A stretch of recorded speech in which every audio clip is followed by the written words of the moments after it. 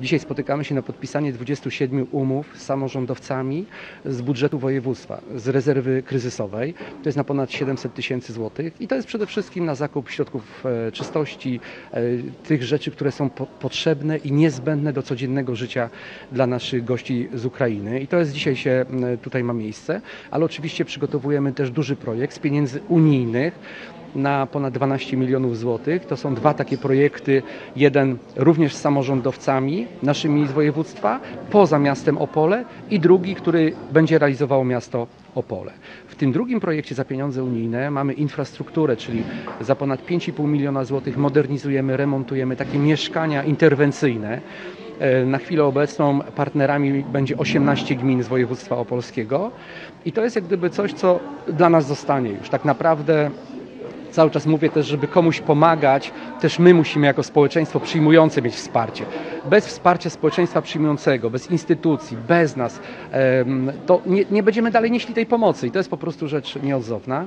2 miliony 900 tysięcy złotych przeznaczymy na wypoczynek letni dzieci i młodzieży i kolonie wyjazdowe, i obozy wyjazdowe, i półkolonie na miejscu. To będzie realizował Regionalny Ośrodek Polityki Społecznej, pani dyrektor Agnieszka Gabruk, dzisiaj też tutaj z nami jest.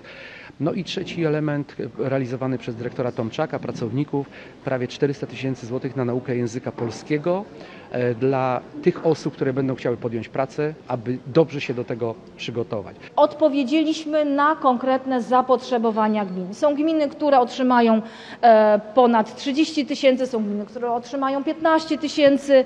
E, Jeżeli będą jeszcze większe potrzeby, ale ściśle zdefiniowane w specustawie, wtedy również będziemy e, taką pomoc udzielać na podstawie e, następnych umów. W gminie Leśnica w szczytowym momencie mieliśmy 40, 400 e, uchodźców z Ukrainy. Jak na taką małą gminę jak nasza to była bardzo duża liczba. Na dzisiaj mamy ich około e, 200.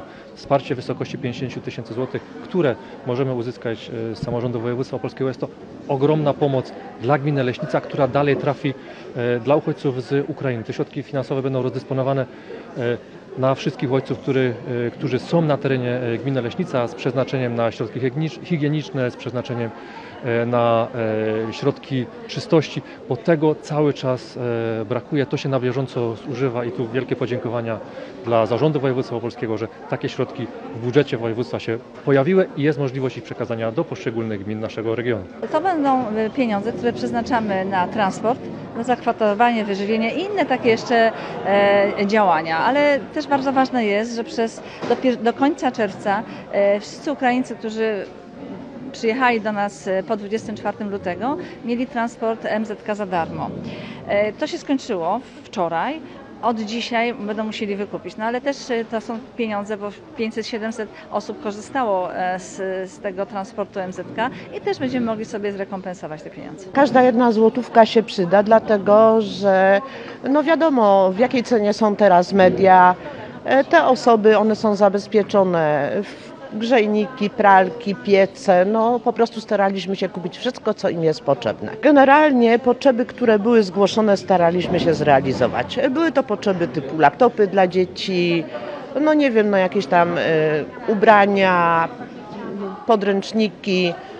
Myślę, że po prostu spełniliśmy ich oczekiwania, bo osoby, które wyjechały od nas, ślą podziękowania za pobyt. Na początku konfliktu zbrojnego ta sytuacja wyglądała nie najlepiej. Na szczęście e, prywatni przedsiębiorcy, prywatni ludzie, osoby fizyczne e, uporały się z tą falą. My na dzień dzisiejszy e, jako gmina kłopotu z tym nie mamy, natomiast wiemy, że około 150 uchodźców nadal jest na terenie gminy Kiecz, jest zakwaterowanych w domach osób fizycznych. Zdecydowana większość deklaruje powrót. E, Ta sytuacja na dzień dzisiejszy się stabilizuje. Już teraz tych uchodźców jest sporo mniej, sporo osób też wiemy, że przekracza e, granice. Bardzo duża liczba ludzi, którzy do nas przyjechali z Ukrainy, wyraża chęć powrotu. Wręcz bym powiedział, że e, już spora część ludzi to uczyniła. Obecnie mamy ponad 500 osób, natomiast były dni, gdzie mieliśmy ponad 1200. Teraz wiadomo, no trochę ustawa się zmienia, część osób wraca. Natomiast około, mówię, ponad 500 osób w tej chwili mamy. Robimy stały monitoring codzienny. Nie ukrywamy, że ponad 140 osób jest w mieszkaniach prywatnych u naszych mieszkańców. I to jest y, naprawdę wielka, wielka zasługa naszych mieszkańców, że otwarte serca i już ponad 60 dni te osoby u nich mieszkają. Wiadomo, to się zmienia, u jednych krócej, dłużej, ale to jest największe wyzwanie. Mieliśmy dzieci w szkołach, ponad 170 dzieci było w szkołach. No i teraz pozostaje pytanie, co dalej. Stąd też te pieniądze na pewno przydadzą nam się, żebyśmy mogli zapewnić zakwaterowanie, bo już o środkach na wyżywienie raczej nie, nie ma mowy.